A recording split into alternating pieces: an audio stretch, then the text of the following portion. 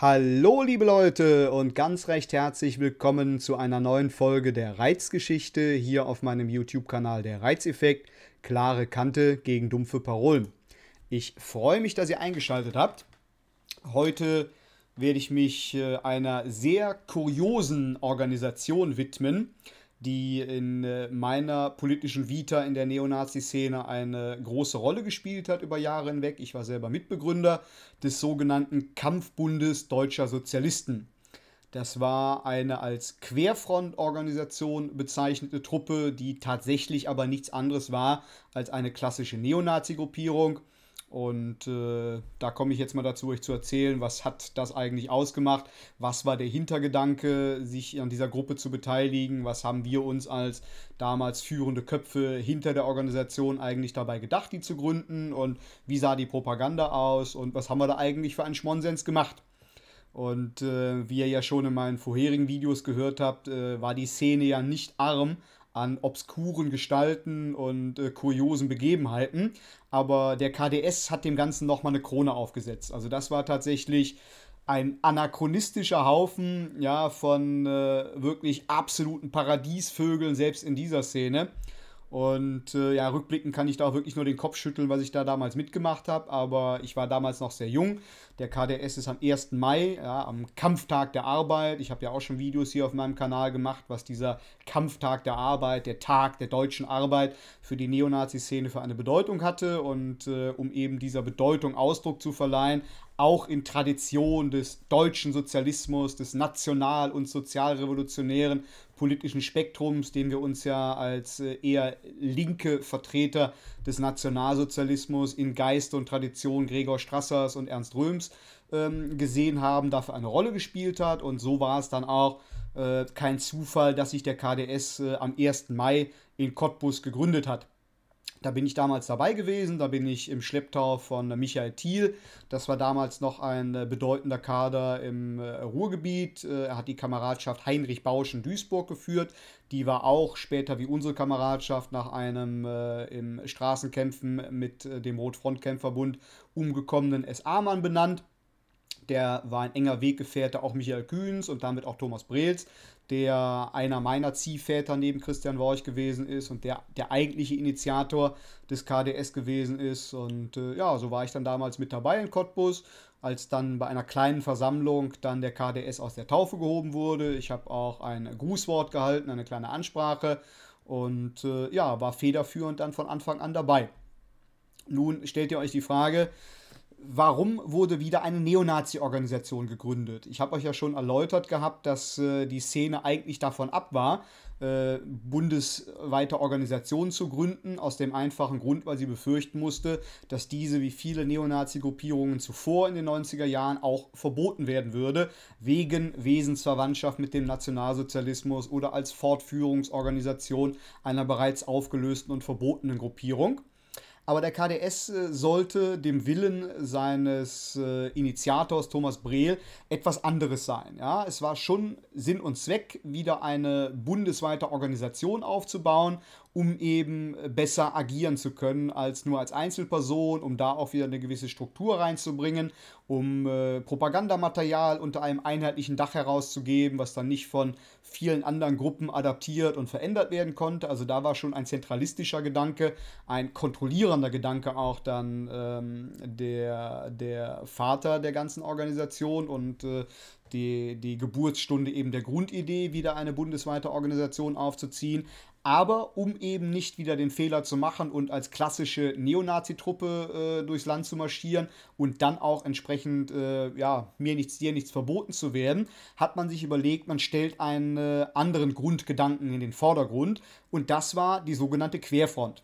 Ja, zum Begriff Querfront, wer sie noch nicht gehört haben sollte, eine Querfront ist eine Verbindung zwischen äh, linken und rechten Revolutionären, die sich selber eben als Systemgegner verstehen und die dann über die Gräben der unterschiedlichen Anschauungen und äh, unterschiedlichen äh, Positionen hinweg eine Waffenbrüderschaft, kann man sagen, schließen, um eben gemeinsam dann als gemeinsame Front eine Querverbindung von links und rechts gegen das verhasste System, gegen den Kapitalismus, gegen den Imperialismus und die üblichen Feindbilder zu kämpfen, die rechts wie links ja die Extreme eint, wo wir wieder bei der Hufeisentheorie sind, die von vielen ja abgelehnt wird, aber auch da kann man sagen, natürlich bedeutet Hufeisen nicht, dass der linke Extremist identisch ist mit äh, dem rechten Extremisten auf der Gegenseite, sondern dass je weiter sich die Extreme von der Mitte eben hinweg bewegen, irgendwann sich sehr, sehr annähern. Und das können wir ganz klar erkennen, eben dann auch an den gemeinsamen Feindbildern, die es in der linksextremen Szene genauso gibt wie in der rechtsextremen, aber auch im religiösen Fundamentalismus,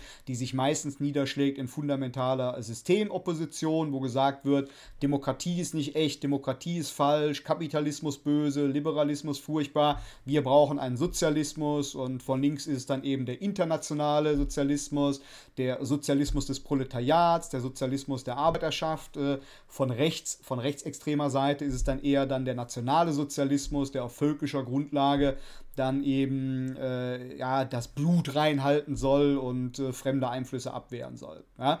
Bei allen Unterschieden sind die Feindbilder eben dann, äh, dann gemeinsam und äh, so war der Begriff Querfront ähm, an sich schon mal eben kein Problem für uns, die wir uns ja, wie ich bereits in vorherigen Videos erläutert habe, ja klar als linke Nationalsozialisten verstanden haben, in Tradition der Gebrüder Strasser, in Tradition der Nationalrevolutionären in der Weimarer Republik, in Tradition von Ernst Röhm, in klarer Abgrenzung zum bürgerlichen, zum unserer Ansicht nach reaktionären Teilen der Bewegung oder äh, eben dann den Hardcore-Völkischen und Hardcore-Rassisten, den sogenannten Schädelvermessern, wie wir sie bezeichnet haben, die wir eben dann nicht mehr als äh, Träger des Gedanken der Volksgemeinschaft gesehen haben, sondern als eine Entartung des eigentlichen Nationalsozialismus, der eben dann äh, natürlich äh, den Sozialismus in den Vordergrund gestellt hat, weswegen wir uns auch gerne ähm, zum einen aus Schutz vor strafrechtlicher Verfolgung, aber auch zum anderen eben dann der klaren Akzentuierung unserer eigenen Selbstverortung in der politischen äh, Skala äh, als nationale Sozialisten bezeichnet haben. Und so war dann auch die Bezeichnung deutsche Sozialisten nicht weit weg von unserem eigentlichen Selbstverständnis. Ähm, die programmatische Grundlage des KDS war dann die sogenannte Langener Erklärung, die in Langen verfasst wurde von Thomas Brehl. Das war sein Wohnort. Langen ist auch lange, lange Jahre Wirkungskreis äh, Michael Kühns gewesen, der dort gelebt hat und äh, der dort 1989 zum Beispiel mit seiner Gruppierung äh, Nationale Sammlung einen sogenannten Schwerpunktwahlkampf geführt hat, äh, der darin gipfeln sollte, dass wenn die NS, äh, ja, schöne Abkürzung, äh, war auch kein Zufall, äh, in das Langener Kommunalparlament einzieht, Langen zur ersten ausländerfreien Stadt Deutschlands gemacht werden sollte. Ja?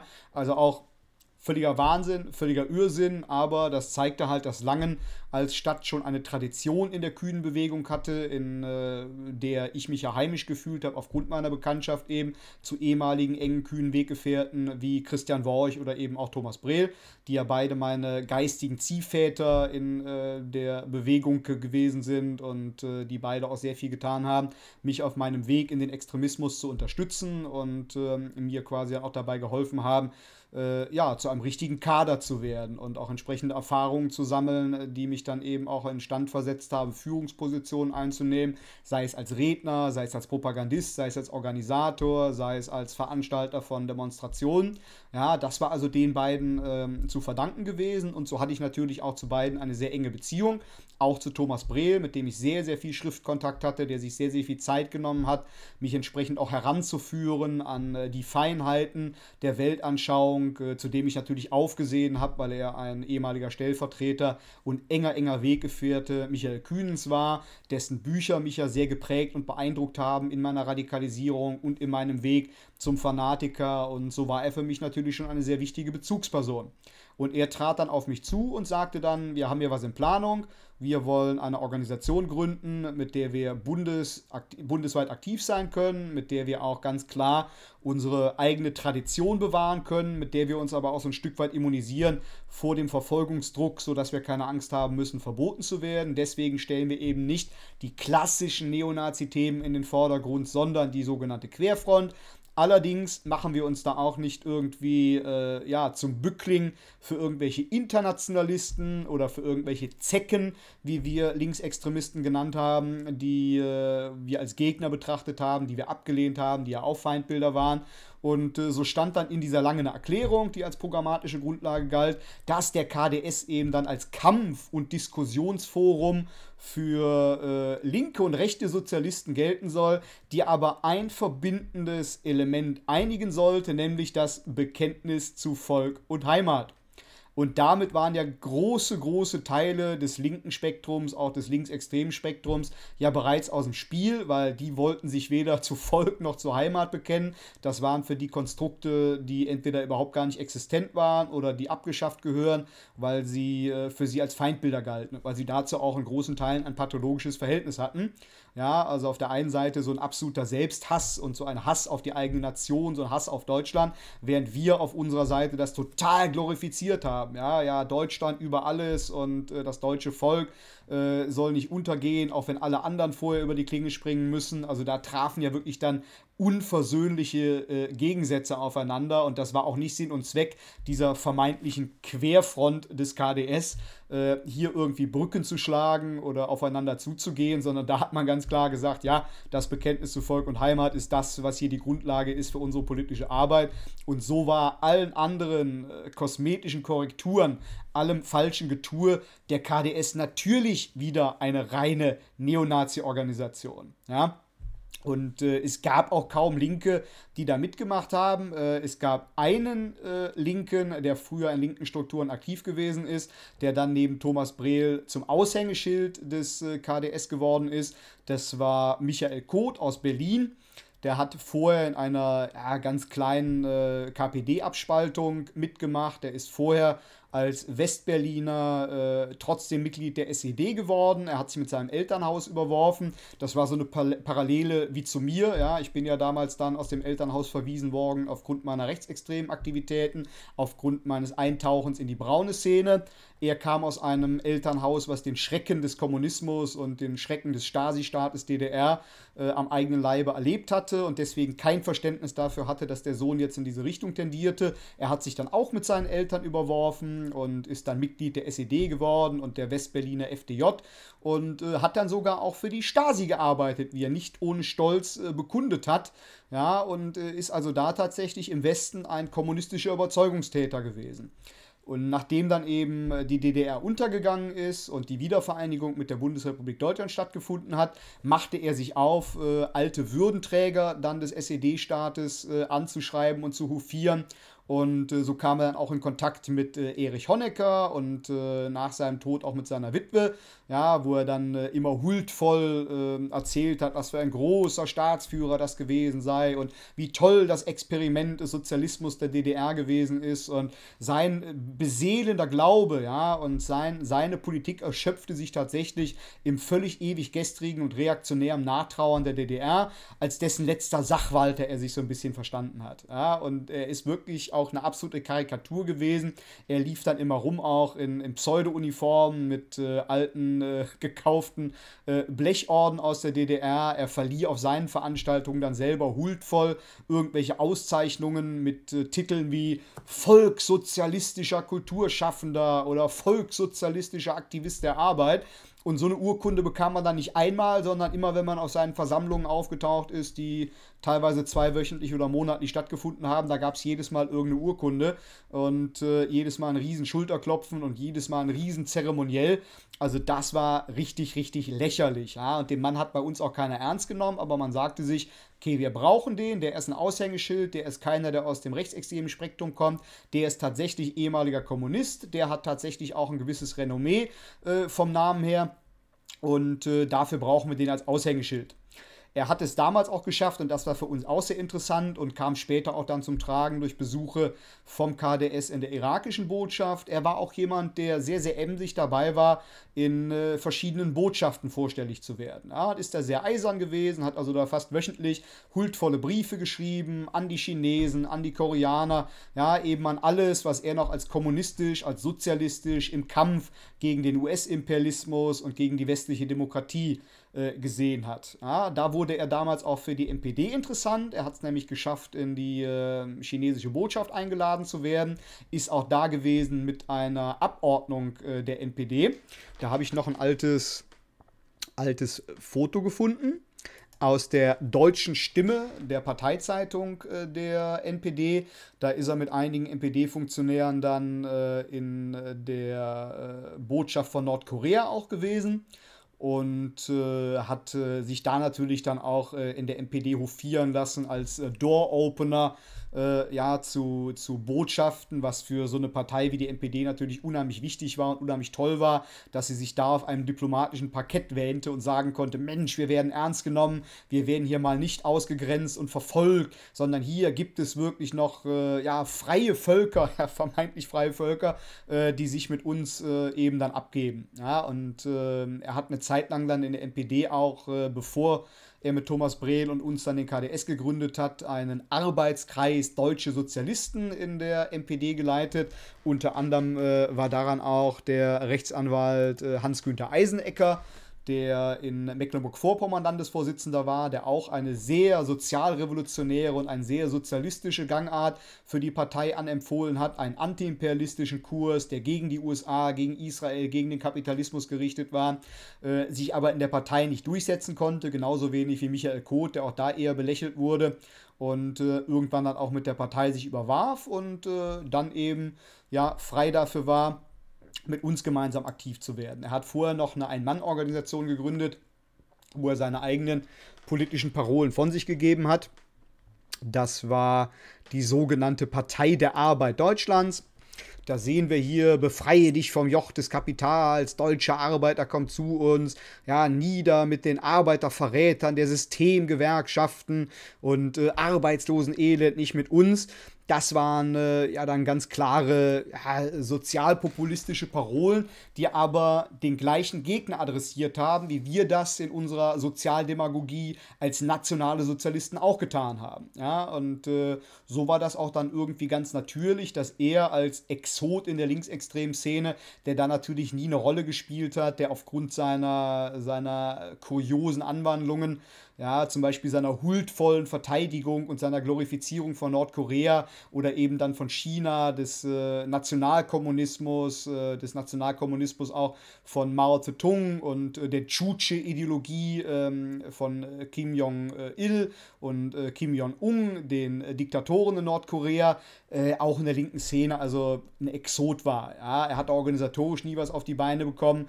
ist ja eine ziemlich kuriose Gestalt gewesen, mit dem es auch immer sehr schwierig war zu arbeiten, weil er eben ja, tausend Zusagen machte, keine gehalten hat und weil er einfach gar nicht in der Lage war, die einfachsten Minimalvoraussetzungen für einen organisatorischen Zusammenhalt eben dann zu schaffen.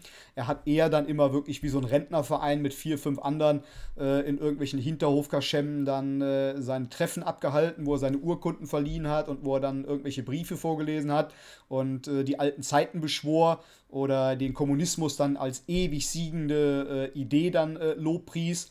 Ja, und äh, war deswegen für die linke Szene auch überhaupt gar nicht tragbar. So war er aber dankbar, dass wir ihm da den roten Teppich ausgerollt haben, dass wir ihm eine Organisation dann eben auch zur Verfügung gestellt haben, die bundesweit agieren konnte. Er konnte in unserem äh, ja, Hauspostille, dem sogenannten Gegenangriff, ähm, was auch kurios war, natürlich haben wir Bezug damit genommen auf den Angriff von Josef Goebbels. Das war die Tageszeitung, die äh, der Gauleiter in Berlin herausgegeben hat. Ähm, es gab dann von der KPD äh, einen Gegenangriff, äh, der dann die Lügen der Goebbels-Propaganda äh, aufdecken sollte. Darauf hat er sich natürlich bezogen und so haben wir dann eben dann diesen Gegenangriff als Angriff und er als KPD-Gegenangriff gesehen, als Namensgebung für unsere Vereinszeitschrift gewählt. Und äh, da konnte er natürlich dann auch seine, seine Briefe veröffentlichen und seine Parolen von sich geben und hatte auf einmal viel mehr Zuschauer, als wir das jemals in seinem kleinen, bescheidenen Wirkungskreis in Berlin selber auf die Reihe bekommen hätte. Ja? Und wir hatten natürlich dann ein Aushängeschild, wo wir sagen konnten, ja, guck mal, wir sind keine Neonazi-Organisation, sondern wirklich Querfront. Wir haben hier auch einen Kommunisten und äh, haben wir hier einen, der aus der linken Szene kommt. Ja? So, und ihr könnt euch hier mal anfangen, ein bisschen, ein bisschen Propaganda anzuschauen, die der KDS dann herausgegeben hat. Hier sehen wir dann auch national, radikal, sozialistisch, ja, wo natürlich dann auch die Schlagworte in den Vordergrund gestellt worden sind. Wir wollten Sozialisten sein, wir wollten radikal, wir wollten revolutionär sein, aber wir sehen die Fahne, die Symbolik, das war ganz klassisch neonazistisch, das war ganz klassisch eine Anleihe an den historischen Nationalsozialismus. Das hatte mit Querfront, ja, mit Zugehen auf linke Strukturen oder Übernahme von, von äh, linken Positionen überhaupt gar nichts zu tun. Im Gegenteil, da haben wir das gemacht, was auch der historische Nationalsozialismus schon gemacht hat. Wir haben einfach Symbolik geklaut, wir haben einfach Parolen geklaut, die umgedeutet und äh, für uns nahtlos in unsere Weltanschauung eingegliedert und entsprechend dann als trojanisches Pferd verwendet. Ja? So, dann haben wir hier noch ein äh, Propagandaplakat, was auch ganz klar deutlich macht, woher der Wind bei uns wehte. Ja, das war ein Plakat, was man dann später bei uns kaufen konnte, wo wir sehen die Standarte, die es in echt übrigens gab, die hat Thomas Brehl selber angefertigt, mit der Symbolik, mit dem äh, Reichsadler im Hintergrund, der auf dem Reichsparteitagsgelände in Nürnberg stand, mit der Frakturschrift. Ja, da wurde überhaupt kein Zweifel daran gelassen, wer wir sind, was wir wollen, was wir machen, nämlich klassische Nazis, klassische Nationalsozialisten, pfeif egal, ob wir uns dann deutsche Sozialisten genannt haben oder Querfrontler. Es war völlig klar, woher der Wind wehte. Und äh, da sollte auch unserer Ansicht nach überhaupt kein Zweifel später mehr bestehen. Ja?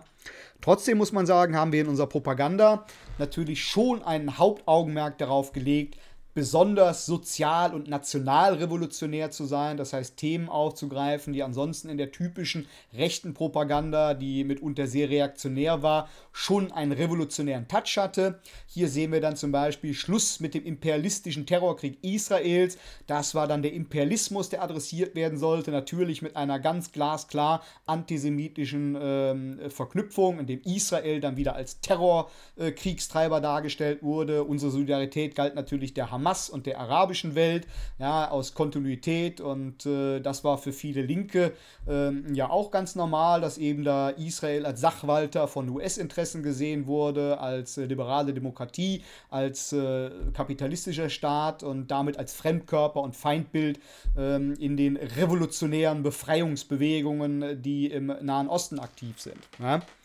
Aber auch da war na klar die Kontinuität, äh, dass wir uns da schon auch äh, mit Parolen eben hervorgewagt haben, die in der Szene sonst zum damaligen Zeitpunkt 1999 äh, noch so nicht an der Tagesordnung gewesen sind. Ja?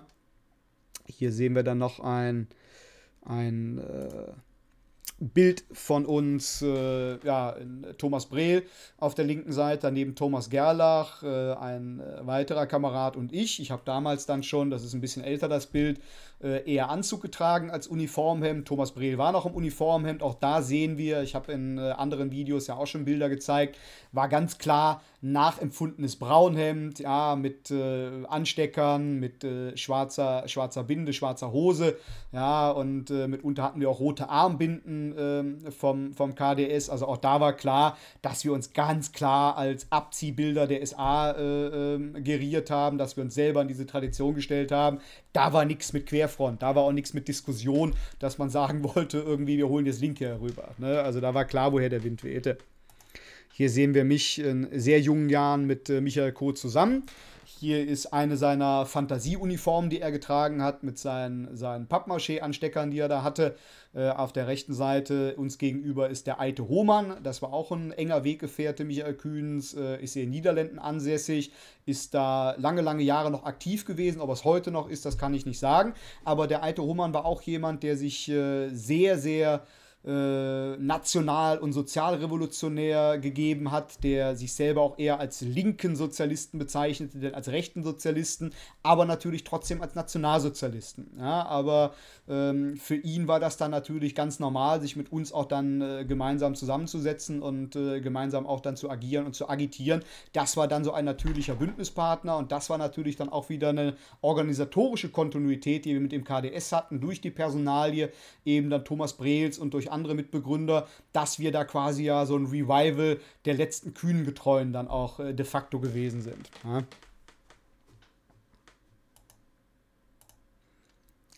So, da sehen wir Michael Koth äh, mit einer Abordnung von Freunden äh, in Nordkorea hat er regelmäßig dann äh, besucht, ist da natürlich dann auch immer empfangen worden von den äh, dortigen Parteidienststellen, die sich gefreut haben, dass da ein Deutscher kam, der dann auch den Sieg des Sozialismus beschworen hat und äh, den Sieg des koreanischen Volkes.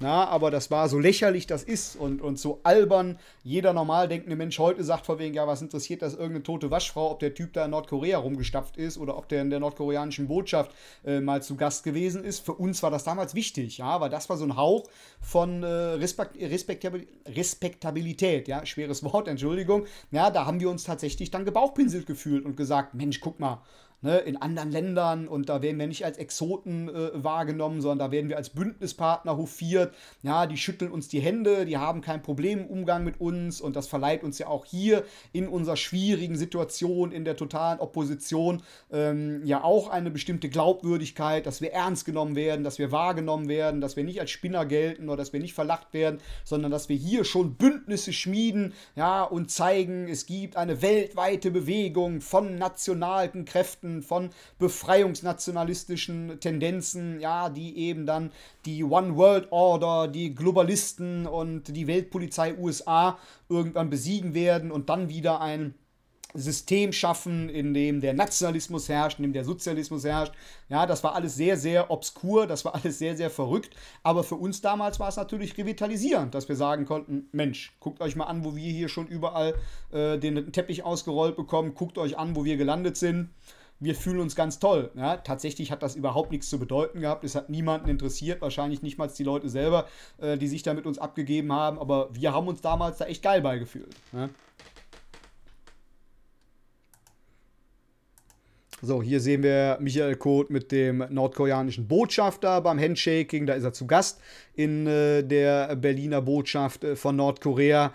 Ja, und das war da natürlich dann schon eine Sache, wo wir, wo wir ihn dann auch für wichtig genommen haben, äh, obwohl er eigentlich für uns äh, eine absolute Nullnummer gewesen ist, die wir nur als Aushängeschild missbrauchen wollten. Ja, aber damit haben wir uns dann gerne geschmückt. Das war etwas, was äh, andere rechtsextreme Organisationen und andere Gruppierungen in der sogenannten Bewegung ja, äh, nicht von sich behaupten konnten.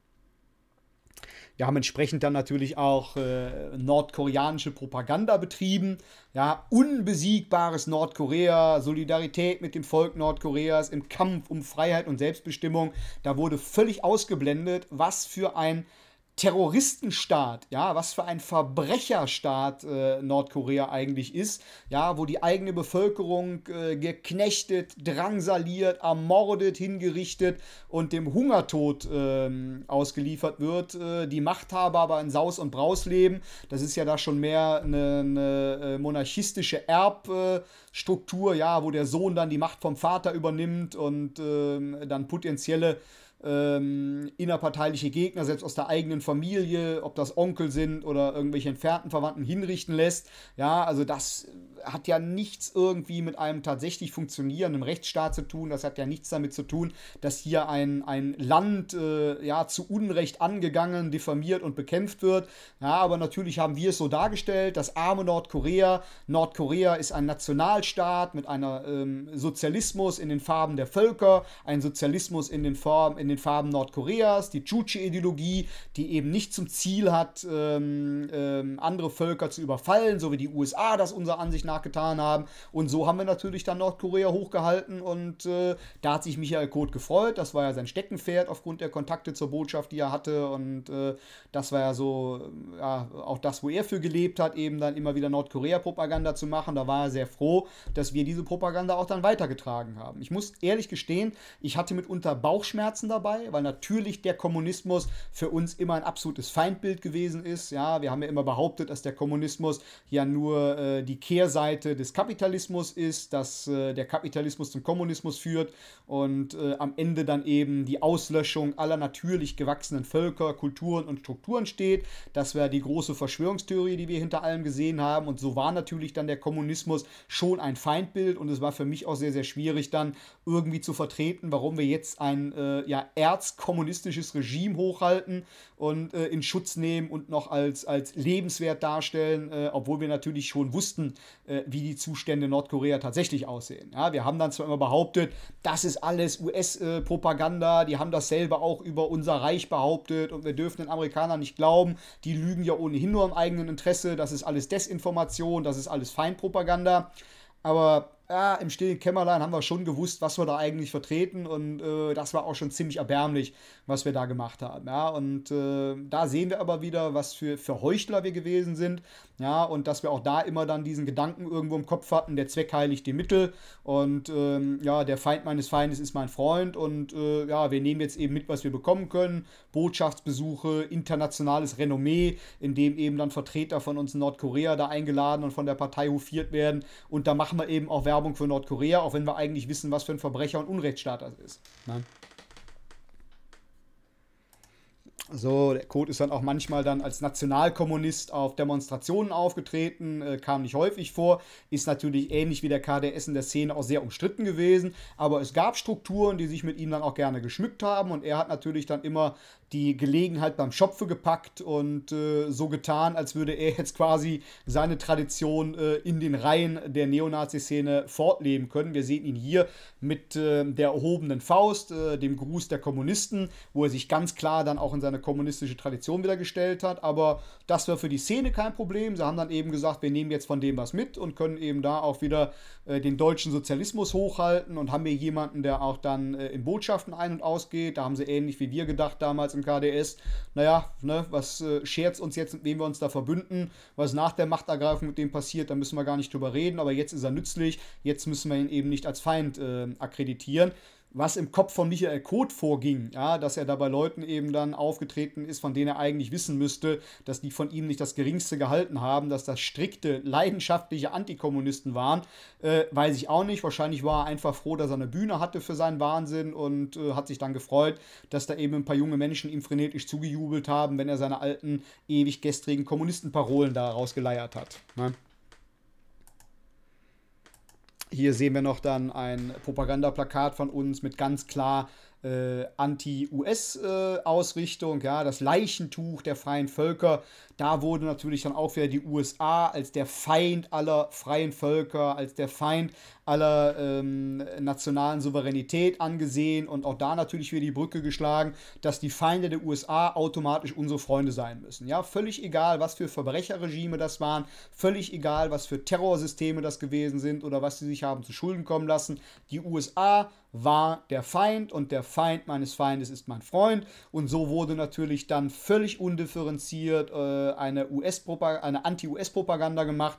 Ja, wir haben auf unseren Veranstaltungen dann später auch dann äh, die USA-Fahne umgedreht, ja, was ja als Notsignal äh, gilt, ja, dass wir sagen konnten, äh, die USA ja, ähm, werden von Verbrechern regiert, werden von einer Oligarchie, von Kapitalismus gewürgt und ausgepresst. Amerikanisches Blut wird vergossen für ähm, kapitalistische Interessen. Da geht es nur ums Öl, da geht es nur darum, die Vormachtstellung äh, der globalen Eliten zu sichern. Globale Eliten waren natürlich damals auch ein Synonym wieder für Zionisten und für Juden. Da war auch der Antisemitismus natürlich wieder ganz stark ver verwurzelt. Ja, aber das ging eben alles da bei uns in unserer eklektischen Weltanschauung, in unserem zusammengewürfelten Gedankengang ähm, einher. Und äh, wir haben uns natürlich mit dieser Propaganda äh, schon irgendwie auch als Querfrontler gesehen, weil das ja auch eher linke Themen waren. Ja? Also so ein Plakat hätte genauso gut auch von ähm, kommunistischen oder antiimperialistischen Gruppen auf der linken Seite herausgegeben werden können. Und äh, das war für uns natürlich dann auch schon Teil des Mimikry auf der einen Seite, dass wir zeigen konnten, okay, wir machen jetzt nicht nur klassische Nazi-Propaganda, wir machen hier auch äh, ähm, in Anführungsstrichen vermeintlich linke Propaganda und ähm, auf der anderen Seite wollten wir damit aber schon tatsächlich zeigen, dass wir eben keine klassischen Rechten waren, dass wir keine Konservativen waren, dass wir keine ähm, Demokraten waren, ja, sondern dass wir schon entschiedene Systemgegner waren, die auch einen klaren sozialen und einen klaren äh, befreiungsnationalistischen Anspruch hatten, der kompatibel war mit Teilen der linksextremen Szene. Ja? Also da waren wir schon authentisch gewillt, eine Querfront herzustellen, wenn auch natürlich nur zu unseren Bedingungen und auch nur im Rahmen unserer bescheidenen mentalen Möglichkeiten. Ne?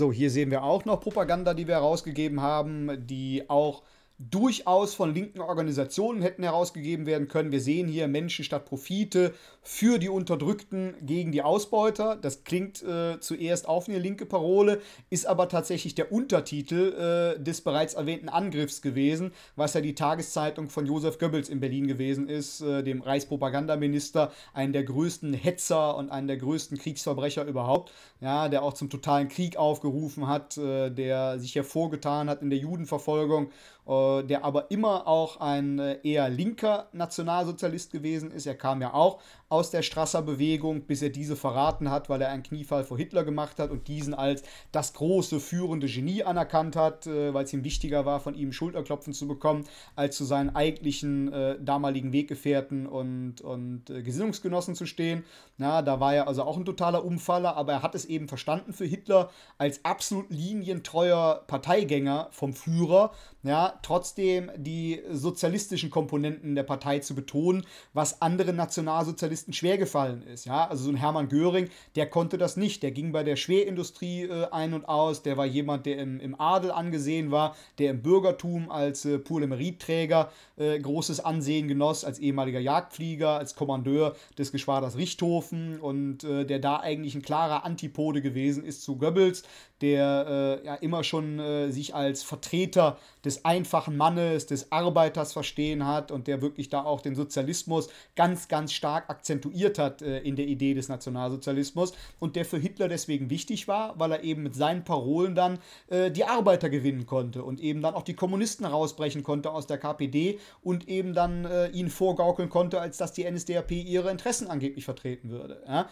Und diese Unterzeile für die Unterdrückten gegen die Ausbeuter klingt, wie gesagt, wie eine linke Parole, war aber eine Parole von Josef Goebbels, der sich selber immer aber auch eher als Linker als als Rechter verstanden hat. Ja, das ist ja auch so ein Kuriosum, dass heute der Nationalsozialismus eher als rechte Bewegung gilt. Viele, viele Nationalsozialisten sich aber tatsächlich als Sozialisten und eher als Linke gesehen haben, denn irgendwie als bürgerliche, konservative oder Reaktionäre. Ne? Ja, und hier sehen wir auch dann natürlich wieder Kampf dem Weltfeind, Amigo Home, ja, oder ähm, US-Produkte äh, boykottieren. Ja, ganz unten sehen wir einen klassischen rechtsextremen Aufkleber. Heute sind sie tolerant, morgen fremd im eigenen Land. Da ist wieder klassischer Rassismus. Da sehen wir auch eine Familie von einem äh, farbigen Vater, einer weißen Mutter und ähm, einem äh, gemischtrassigen Kind, wie wir es damals genannt haben. Ja, ähm, und das war für uns damals ein absolutes Feindbild. Das war undenkbar.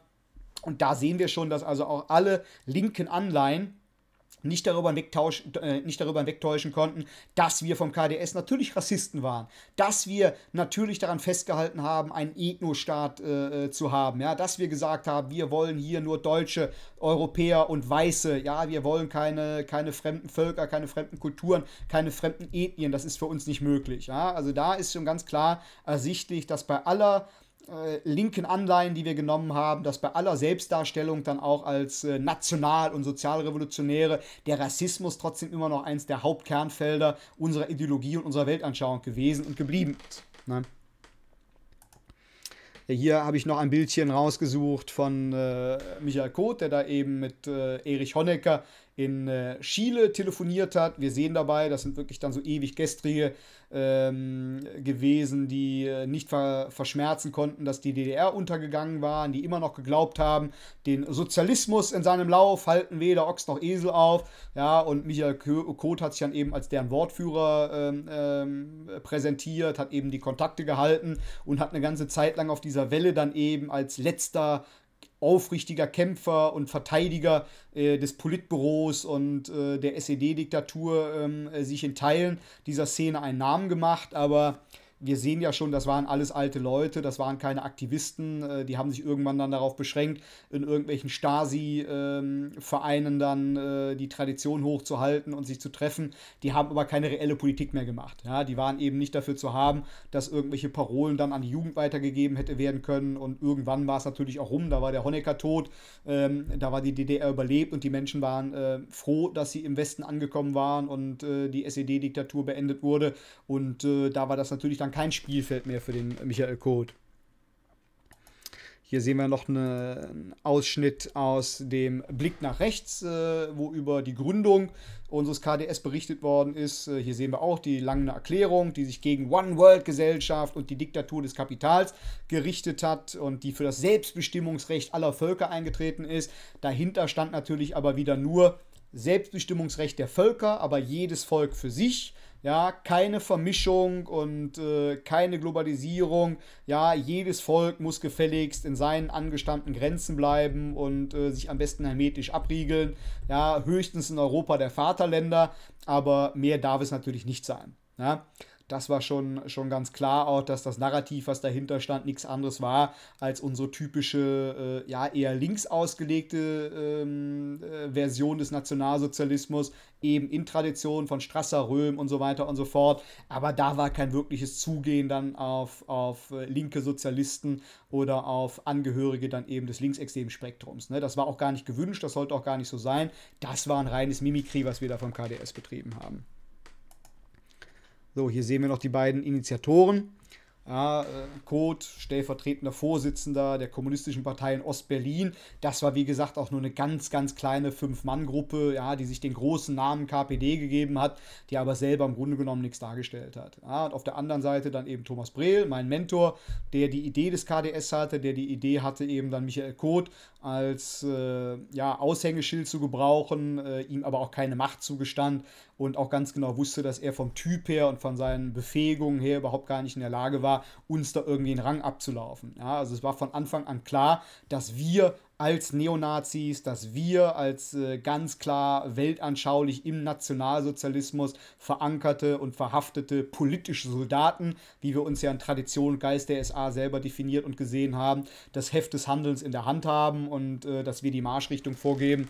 Und äh, ja, so war der KDS für uns dann tatsächlich eine klassische Neonazi-Organisation, die sich ein bisschen Mimikry eben dann auferlegt hat und die ein bisschen anders eben dann aufgetreten ist und damit muss man wirklich sagen, jahrelang auch Erfolg hatte. Ja, wir sind nicht verboten worden. Es äh, gab wohl, wie später rauskam, wohl ähm, Überlegungen, ob der KDS zu verbieten wäre, aber die haben dann wahrscheinlich auch gesehen, dass wir letztlich so obskur, so kurios und so unbedeutend gewesen sind, auch für Szeneverhältnisse, dass sich so ein Verbot wahrscheinlich gar nicht gelohnt hätte. Ja, nichtsdestotrotz hat sich der KDS dann irgendwann selber aufgelöst, äh, auch auf mein Betreiben hin, weil irgendwann äh, bin ich dann auch diesen ganzen Anachronismen entwachsen und habe auch dann wirklich gesehen, dass mit der Politik des KDS, das mit der Person des Michael Kurz, das mit dieser Ordens- und, und Titelsucht und das mit der ganzen Urkundenverleiherei, ja, und diesen Anleihen dann an kommunistische Regime ähm, eben innerhalb der Neonazi-Szene äh, kein Blumentopf zu gewinnen war, dass man damit nicht punkten konnte. Und je mehr ich dann auch Karriere machte als Netzwerker, Organisator und äh, ideologischer Einpeitscher in der klassischen Neonazi-Bewegung, wurde für mich der KDS dann irgendwann auch mehr und mehr zum Hemmschuh. Ja? Und äh, so haben wir dann zuerst versucht, ein bisschen zu modernisieren. Da wurde eben dann äh, ein revolutionäres Manifest verabschiedet. Da wurde die alte Organisationsstruktur abgeschafft. Da wurden die Uniformen abgeschafft. Da haben wir gesagt, okay, wir haben eingesehen, dass das äh, dem eigentlichen Sinn und Zweck, ja, dem Weitertragen unserer äh, sozial- und nationalrevolutionären äh, Gedankengänge, ähm, das sehr abträglich gewesen ist, dass das eben kontraproduktiv war. Deswegen müssen wir uns neu aufstellen. Das hat aber natürlich nicht funktioniert, ja, und äh, so haben wir dann irgendwann auch dann den KDS äh, zu Grabe getragen. Ja, das fiel Thomas Brehl sehr schwer, er hat sehr daran gehangen, er hat da auch so ein bisschen äh, immer noch versucht, seine, seine alten glorreichen Tage in der Neonazi-Bewegung im KDS künstlich noch einmal wieder aufleben zu lassen, äh, auch mit sehr bescheidenem Erfolg, aber für ihn war das immer noch so, seine Hausmacht, wie er es selber nannte, seine Instrumentarien, mit denen er dann eben netzwerken und äh, agieren und auch so ein bisschen von oben herab dann als, als äh, Organisationsleiter befehlen konnte.